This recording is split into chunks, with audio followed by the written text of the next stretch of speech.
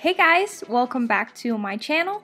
Today I'm gonna show you step by step how to do a 5 strand braid for beginners. So let's get into it. The first thing you have to do is to split the hair into 5 equal sections so you have 5 strands.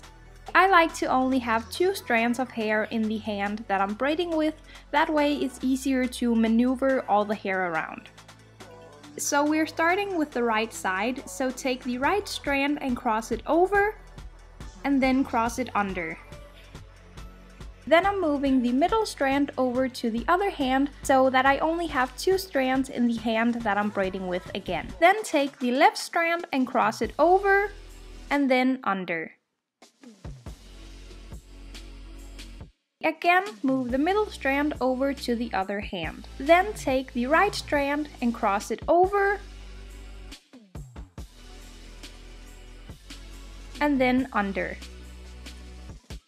Again, move the middle strand over to the other hand. Then take the left strand and cross it over and then under. So that is all you have to do. So move the middle strand over to the other hand, then cross the right strand over and then under. Again, move the middle strand over to the other hand, then cross the right strand over and then under. So now repeat those steps until you reach the end of your hair and then tie the hair off with an elastic and I will leave a link to the ones I'm using down below.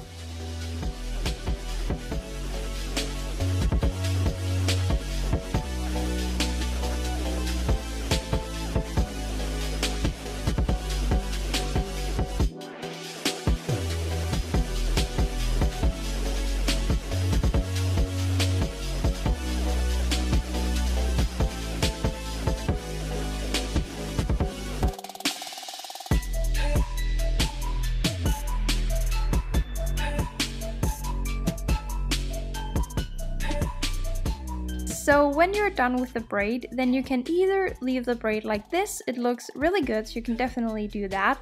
You can also pull in the sides just to make the braid look a little bit bigger and then you're done. So I really hope you guys found this video helpful. If you did, then please give the video a thumbs up and remember to subscribe and hit the notification bell so you don't miss any new hairstyles. And then I will see you guys in my next video.